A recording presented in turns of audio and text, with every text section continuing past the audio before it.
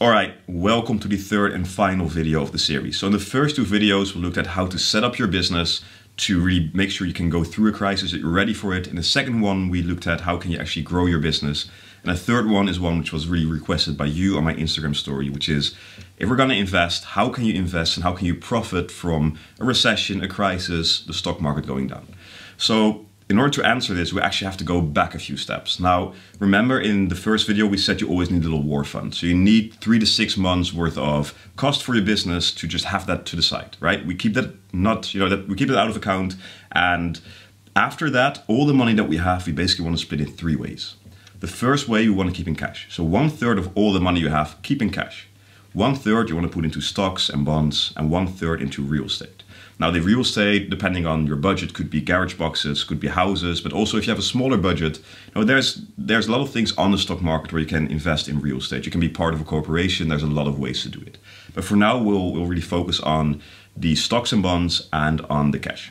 So one third is cash, which basically is also sort of war fund. So whenever this happens, right, the stock markets go down or house prices will go down, you have that money to to invest. And it's also safe because if the stock market does really go down and you need that money, right, you have to sell your stocks because you need money. That's where you get into trouble. So that's why we always want to have that war fund. Now, what happens, right? One third of my of my money of the things I have is in stocks, and the stock market starts to crash. It goes down, it goes down.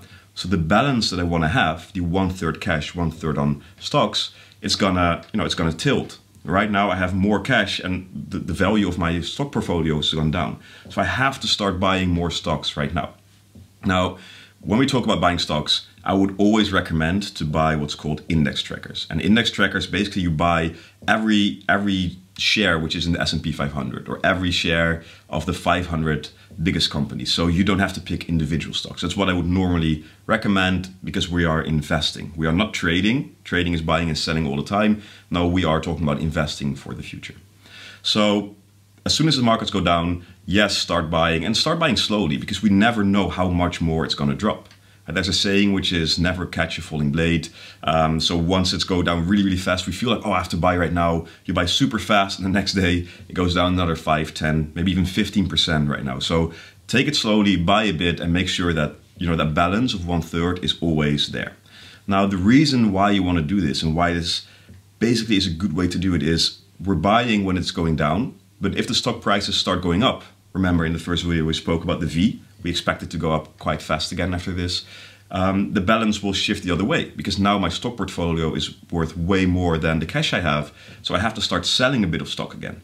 And that way you're forcing yourself to buy when things go down. So buy low and sell as soon as there's profit. And the same could happen with real estate, right? If, if the real estate prices really drop, then all of a sudden I have too much cash, so I have to buy more real estate. And if it goes up, then potentially you could sell your real estate or keep it for a bit longer and make sure you get more cash again the other way. So that is very important. Now, there were also some questions about, hey, if you would buy individual stocks, what would you do? And again, normally I would not really suggest you doing it. But right now, let's take two examples, what I think is good to do right now and what's really not good to do. So look at the industries, uh, industries which are really affected. And one of them is the travel niche, right? All the airlines, all those things. Their stocks have gone down crazy, crazy amounts. Would I buy them right now? Not really because what's going to happen we don't know how long people are not allowed to travel. And if that takes very long maybe some of those companies will actually go bankrupt or you know so investing there is very very high risk uh, right now. And again we're not trading we're investing so i would not do it. Now due to some other geopolitical um, issues right now the oil price has gone super down.